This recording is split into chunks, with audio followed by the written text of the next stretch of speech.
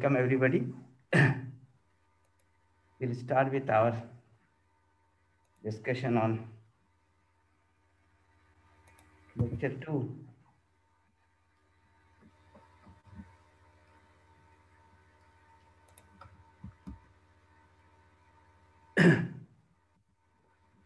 The lecture two is self-exploration as the process of value education. Yeah. So Yeah. I'm sharing slides from here. Yeah, can we start with the heading?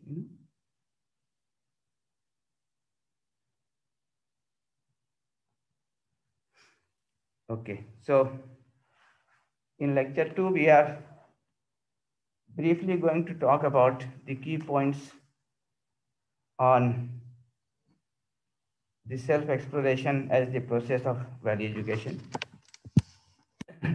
So we have been talking about the need, the content, the guidelines, and the process of value education. And in continuation with that, we are talking about the process of value education, the self-exploration as the process of value education in little more detail. So if we look at the key points about this process, number one, we are saying that whatever we are saying here is a proposal. You don't have to assume it to be true or false, but you have to verify it on your own right. And one of the simplest way of going about uh, is that verify it on the basis of your natural acceptance. So this is something which is very simple to begin with. Of course, it looks, you know, quite difficult uh, in the in the beginning for the reasons that we will uh, see when we discuss about this frequently asked questions. Uh, we don't seem to be very uh, confident about this natural acceptance that we have in us. But as we start referring to it, as we start working on it, we will see that it is there. It is there as an innate part of our being. And if only we start paying attention to it, we are able to see this natural acceptance in us. And that can be the basis of our self-verification. So what we are saying is that whatever is being said here, take it as a proposal. Do not assume it to be true or false. Verify it. Verify it on your own right. And one of the basis of this verification can be natural acceptance.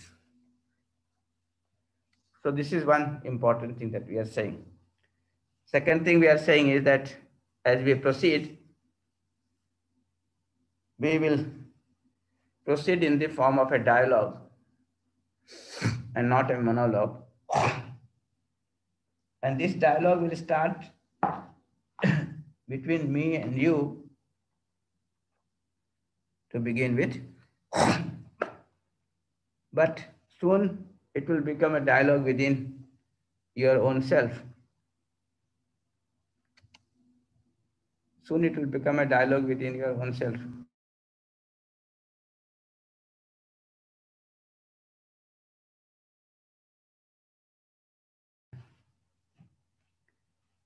So, interestingly, this question that or the proposal that we are making here and which we are asking you to verify on the basis of your natural acceptance that you will start doing for yourself right? So all the questions that you have in your mind you will start posing those questions to your own natural acceptance and start getting the answer from there And what we are saying is that the purpose of this workshop is essentially to initiate, to strengthen this process of internal dialogue. Right? So if you look at that dialogue within, this is how it looks like. It's a dialogue between what I really want to be, what is my natural acceptance, what is my intention, and what I am, my desire, my thought, my expectation, and that is my competence. So this is basically initiating this dialogue between what I really want to be and what I am, between my natural acceptance and the desire, thought, and expectation that I have. For example, when we look at this, you know, whether we have natural acceptance for relationship or for feeling of opposition. Right? You can ask yourself, and you find that we always have the acceptance for feeling of relationship and not for opposition. However, if you look at our state of being, you know, what you are, what is your desire, thought, and expectation, you will find that many times we are thinking of feeling of relationship and many times we are thinking of opposition. While natural acceptance is always for relationship, our imagination is going on the basis of feeling of relationship sometime and feeling of opposition sometime. So as far as my natural acceptance is concerned, there is a definiteness. But when it comes to my state of being, my desire, thought, and expectation, what I am, sometime I'm thinking on the basis of feeling of relationship, sometime on the basis of feeling of opposition. Which means that there is lack of this internal dialogue, internal dialogue between the natural acceptance and the desire, the thought, the expectation that we have. So my imagination is not going all the time as per my natural acceptance. So this is one observation. Right? The second observation is that when there is you know harmony between what I am and what is naturally acceptable to me, that is when I'm thinking of relationship which is naturally acceptable to me, then there is a harmony within. And when there is harmony within, I'm in a state of happiness within. So when my imagination, my desire, my feeling is in line with my natural acceptance, then I'm in a state of harmony within and a state of happiness within. On the other hand, if I'm thinking of opposition, Right. And this feeling of opposition is not naturally acceptable to me. Then there is a contradiction within. And this contradiction leads to a state of unhappiness within. So we can see that our happiness or unhappiness has to do with what I am. What is my feeling, what is my desire, what is my thought, what is my expectation at this moment, and whether this is in line with my natural acceptance or not in line with my natural acceptance. So as long as it is in line with my natural acceptance, I'm in a state of harmony and happiness. The moment it becomes something which is not in line with my natural acceptance, I'm in a state of contradiction within and therefore I'm in a state of unhappiness within. So now if you look at the whole thing, right, what it indicates that as long as I am able to ensure that my feeling is in line with my natural acceptance, I am in a state of harmony and happiness. That is the way to ensure a state of happiness, a state of harmony within. So we need to initiate this dialogue within, between the natural acceptance and what I am. And if I can do that, I can ensure harmony within and happiness within. So in order to do this, number one, we have to discover our natural acceptance. That is where we want to be, right?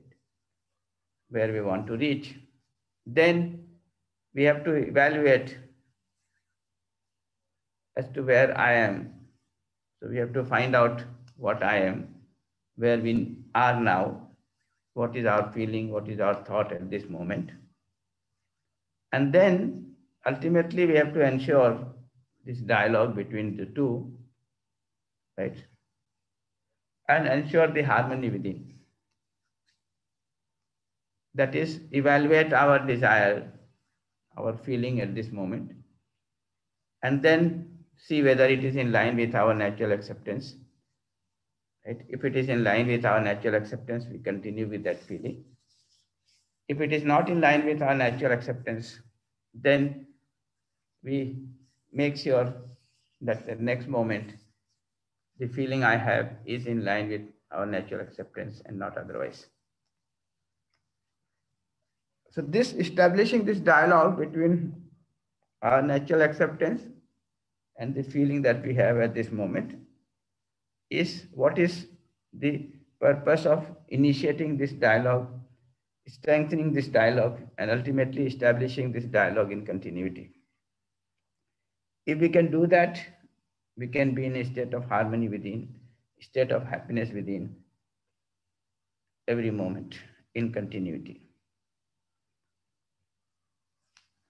So when we talk about this exercise one and exercise two, where we are trying to look into our own self and try to understand this self, evaluate this self, and set it in harmony, we will extensively work on this. But this is the idea. The idea is to initiate this dialogue within and strengthen it, right? And ensure the continuity of it by way of looking at our own natural acceptance, discovering that natural acceptance, then being aware of our state of being in terms of our feeling or desire, and ultimately evaluate that feeling, that desire, whether it is in line with natural acceptance or not, and ultimately ensure that this feeling, this desire that I have at this moment is in line with our natural acceptance.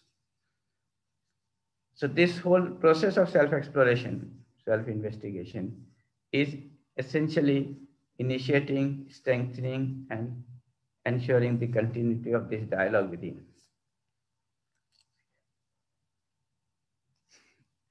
So with this background, if we look at this process of self-exploration, self-investigation, there are two parts to it.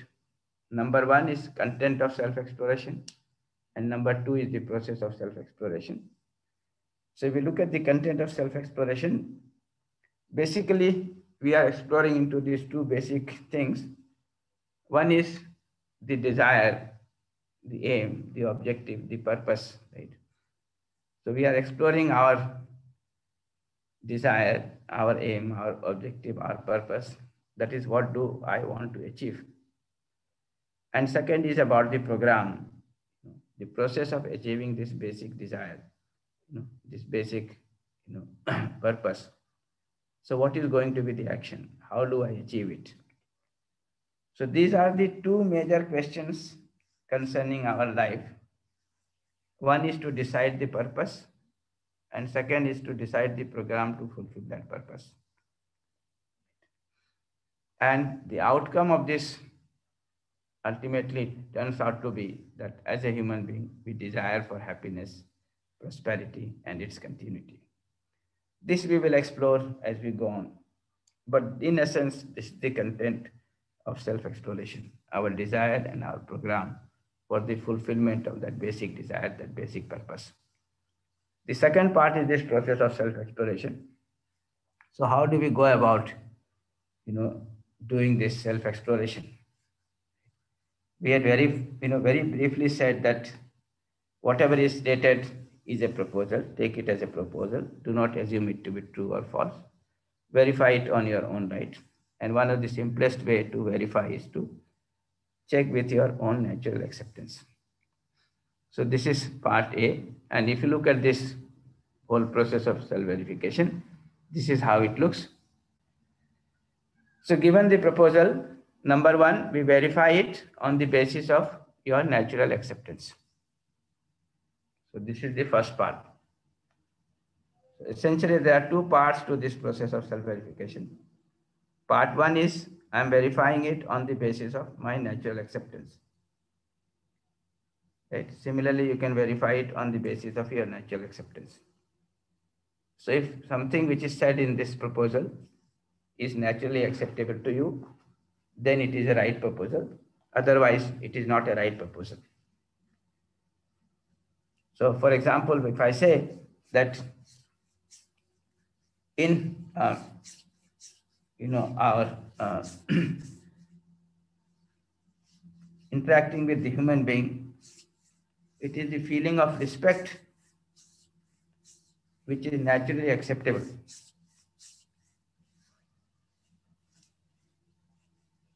Or in general, you know, what is, uh, whether this feeling of relationship or feeling of opposition. So if I say that this feeling of relationship is natural in human-human relationship, then this proposal can be verified. You can ask your natural acceptance that in human-human relationship, what will be naturally acceptable to you?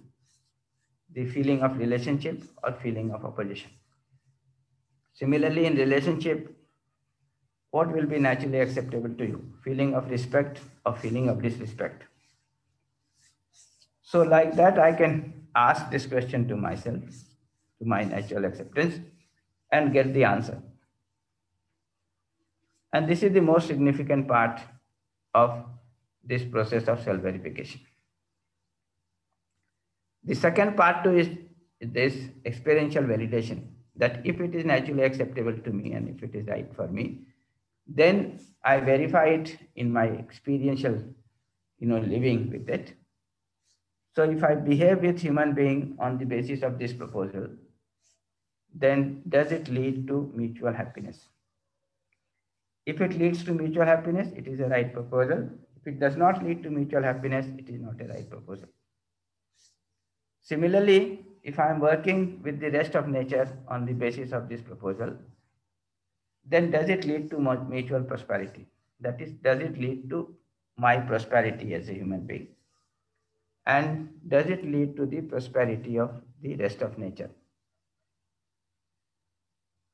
So if it leads to mutual happiness, mutual prosperity, then I can experientially say that yes, this is a right proposal. So these are two you know, part of my process of self-verification, self-exploration through which I can decide whether a given proposal is right for me or is not right for me. And on the basis of this self-verification, what I get is the right understanding. What I get out of this is the right understanding. So this is a very simple but very useful process of self-verification, which each one of us can uh, apply. And we all have this natural acceptance there in us as an innate part of our being. So we don't have to search it anywhere in the book or outside, but we have to start looking within. And when we start looking within and start asking this question to ourselves, to our natural acceptance, we get the answers. So we'll see this as we go further. Now the question is, which process is naturally acceptable to you? A process of self-exploration, self-verification on your own right, leading to understanding in yourself, or a process of, you know, accepting do's and don'ts right? and taking it as given. So what will be naturally acceptable to you? This is something which you can verify whether you want to verify things on your own right or you want to take things as given as a belief, as a preconditioning, right, without self-verification. So of course, we will uh, like to uh, verify things on our own, right? So this is what we are going to go, do all through this course. Whatever is stated in this course, we'll take it as a proposal and verify it on our own through this process of self-exploration, this process of self-verification. So this is in a sense, what is the process of self-exploration. But as we take up the questions, you know, to be clarified further.